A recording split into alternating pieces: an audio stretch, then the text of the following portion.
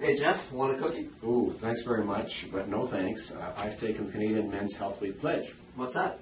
Well, it means I'm making little changes for a healthier lifestyle, like taking the stairs instead of the elevator, and eating broccoli instead of cookies. Mm-hmm. I challenge you to take the pledge at CanadianMen'sHealthWeek.ca.